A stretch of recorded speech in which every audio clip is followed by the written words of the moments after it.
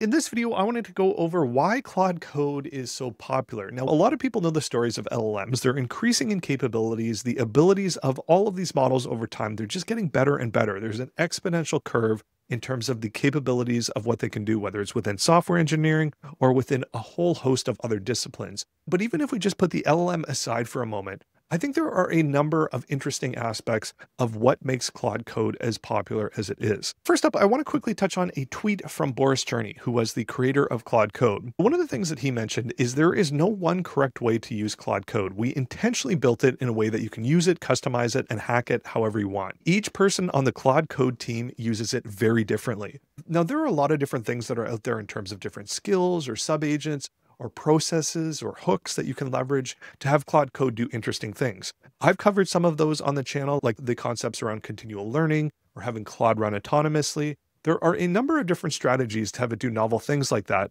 But the interesting thing with Claude Code is you can really use it across a ton of different form factors. You can use it for coding, you can use it as a coding agent, you can use it for automations, or you can use it for a ton of different things. You could use it for a diary, you could use this for a blog writer, you can compartmentalize all of the different things that you think about and can offload to an AI agent now. You can use Claude Code for that, or you can use Cowork. It's very flexible, it's very low level, and that's very intentional in how they've communicated, and Boris in particular, how he thought about building this. Now, the one thing that I want to touch on, and I've been thinking about this a little bit more lately, is a lot of the core tools that are built within Claude Code. Again, if we take the LLM outside of this, a lot of the tools that are equipped to it it's not like there's a hundred different tools and a complicated orchestration process to make this work as good as it is. It's actually quite simple. I wanted to touch on the Lindy effect. Now, this is a term that was popularized by Nassim Taleb within the book Anti-Fragile. This is a book that I read many years ago. There's a ton of interesting ideas with it,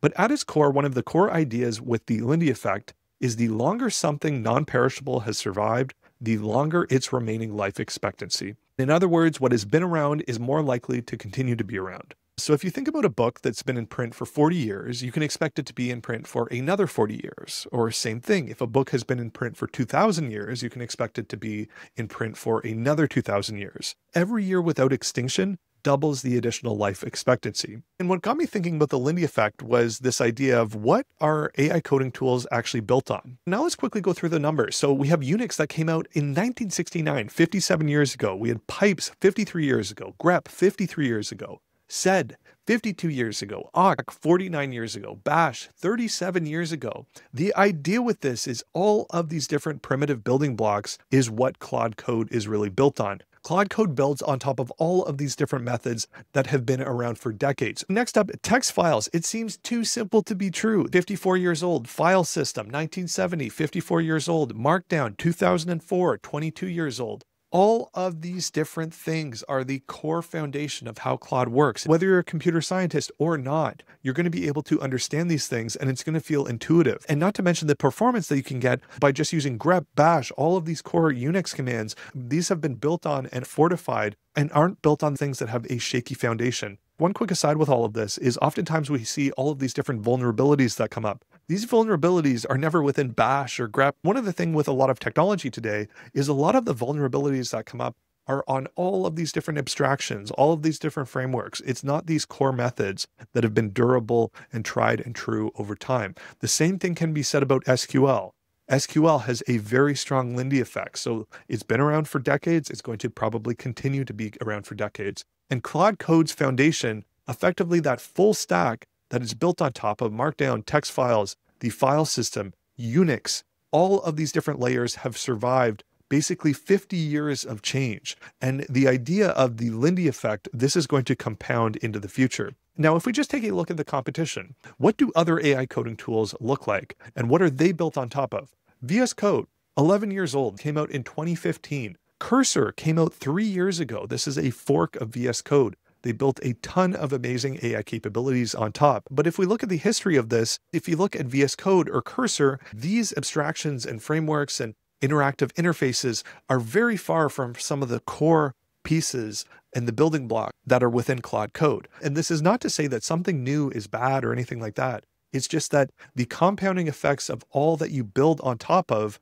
can be a really good foundation just to carry you into the future. And I think it is still an open question in terms of where VS Code will be, where Cursor will be as coding is changing as dramatically as it is in this current moment. If we take a look at Claude Code, it's one year old. But the thing with Claude Code is it's built on that foundation that I just went through. Every single layer has decades of proven stability. It's not built on top of new coding languages, new frameworks, like some of these other IDEs. It's built on top of really just primitive methods that have been around for decades. Why did Anthropic make this bet? It actually came out as an experiment from Boris Cherny. It came out as a side project as many great things do. Anthropic's product principle is do the simple thing first. And if you think about even that principle in and of itself, if we go back to Unix, or if we even touch on things like functional programming and the idea of having a function that does one thing really well, one of the ways that I heard in an interview Boris describe Claude Code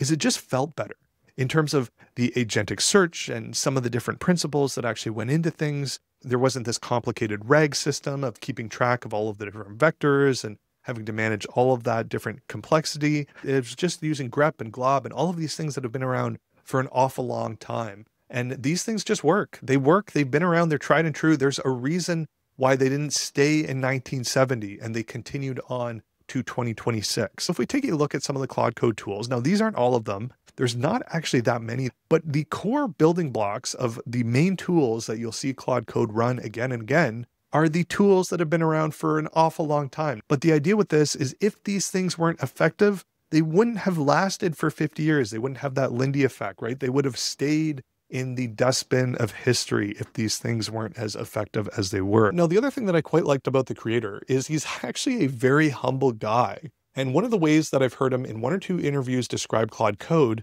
is the interface that they built is just built on the foundation of we don't actually know what coding is going to look like. If we take the models and we go one, two, three years out, what is coding actually going to look like? If we take a snapshot of today, I don't have any idea what coding is going to look like. Am I going to be talking into a microphone and it's just going to be spinning out this wild architecture? I have no idea. And I don't think anyone can claim that they actually know what that is going to look like in even just a few years. This just goes to show how quickly things are changing. If you have a very strong foundation that isn't based on something that might change tomorrow or might break or might have a security vulnerability, it might actually play in your favor in quite a big way. Now, next, some of the other benefits of Unix commands. One, they're very strongly represented within the training data of models. You could have a very small 8 billion parameter model on your own computer, and it's going to know these commands quite well. Further, if you put this on a state-of-the-art model like Claude Opus 4.5 or GPT 5.2 or whatever, it's going to absolutely know how to use these things. And when you pass in the right context and right instructions, this in combination with that, you can get pretty powerful results. If we take the Unix philosophy of having a program do one thing really well, I think these principles, they're clearly represented within Claude Code, but I think within some of the new techniques of how we're leveraging Claude Code or skills, subagents, MCPs, file system, all of these things as well can be built with those same principles. In my opinion, skills, subagents, and MCPs, some of the best versions of all of these things are probably going to be represented in the same type of Unix philosophy. Have one skill that does something really well. Have a subagent that does something really well. Have one MCP that does something really well. We don't need to try and squeeze everything into one tool, into one skill, into one agent, so to speak. Now is the big paradigm shift in 2026 and years following. Claude Code is really the first glimpse into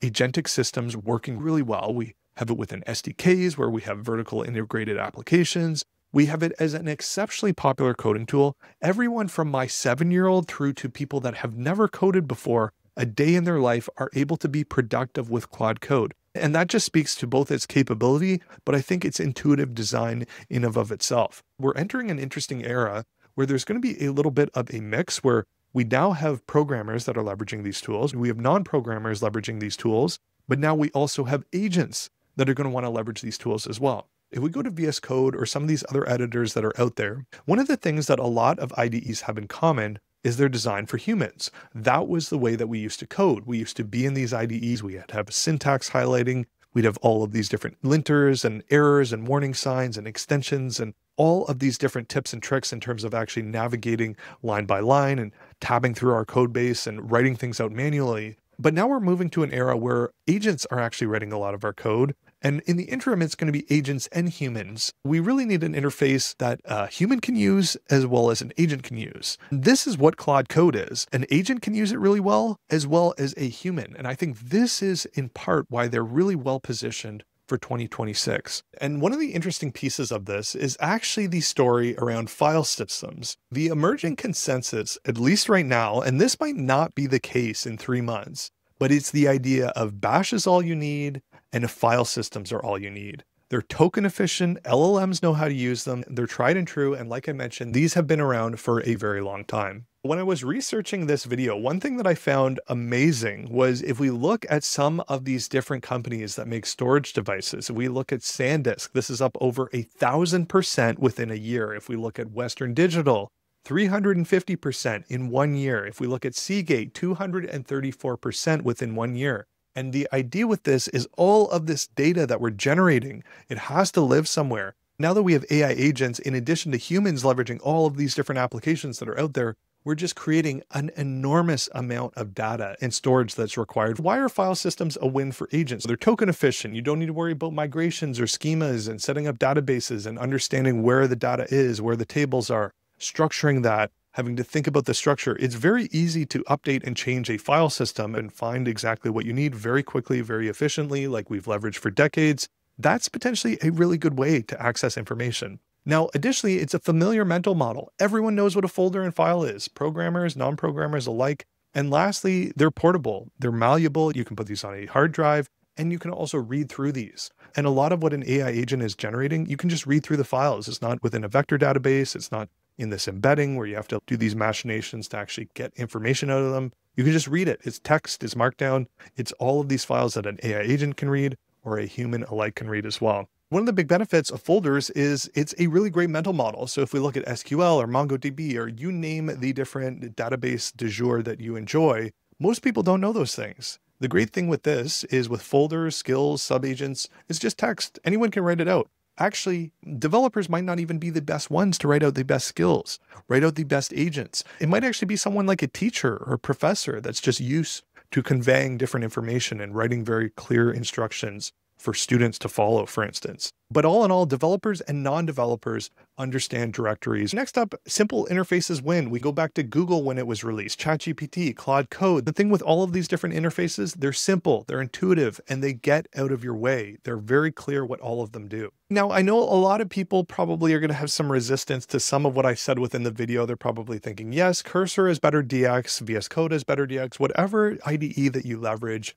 I'm sure the form factor is great because you have all of the different key bindings, you have the extensions, you have that familiarity of going into a system, you know how it works. And the switching cost to something like Claude Code is definitely non-trivial. It took me probably hundreds of hours before I was convinced that, hey, this is probably the most productive place for me actually building and working on applications. The only thing that I want to suggest is some of these tools have only been out for a little bit of time a lot of people are really experimenting with the form factor. A lot of companies are building amazing products, but I think time will be the tell of whether those different tools in their current instantiation will be the ones that we're going to be using in two, three, four, five years, so on and so forth. I'd argue that over the next 10 years, there's probably a very unlikely chance that those are going to be the tools that endure over the coming decades. The IDE in its current instantiation is very likely not going to be the form factor that most programmers or developers are going to be using in, say, five years. I already touched on this a little bit, but LLMs are really good at Bash. They're really good at SQL. And sometimes when you think about things that are within the training data, the benefit of this, when you think about actually building an application or an agent, if you build it on top of something that's been around for a very long time, there might be an 8 billion parameter model that could handle this really well. And you might be able to have an experience that runs at 1,000 or 2,000 tokens per second because it's built on these foundations where the models know exactly how to use some of these things very well.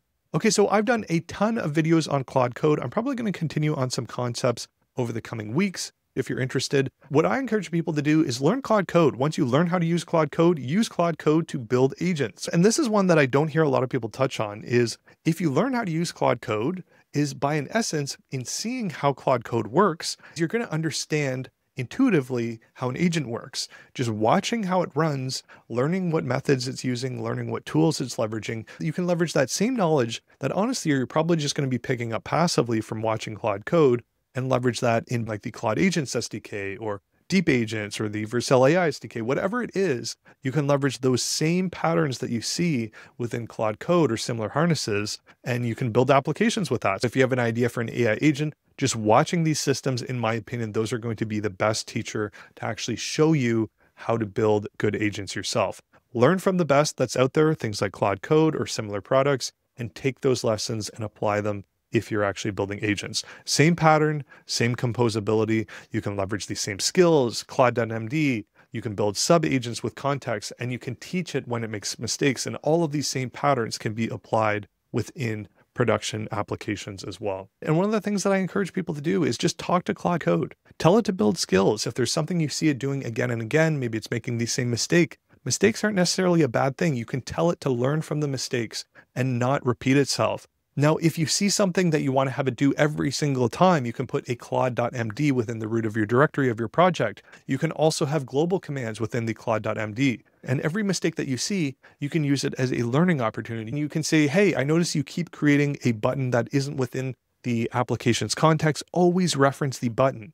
And you can have that within a skill. And you could build that skill to be something like a front end skill or a front end developer skill. You can start to compartmentalize. Okay, based in this application, here's the design system, here's where to find the different files, all of the different things, just like you tell a different employee, you can direct and reference all of that different contextual awareness when appropriate. And all that you have to do is you can just tell Claude to do it. You don't have to go and even touch the file system. All in all, in a world where no one knows what the form factor is going to be, bet on something that composes with everything else. That's it for this video. If you found this video useful, please like, comment, share, and subscribe. Otherwise, until the next one.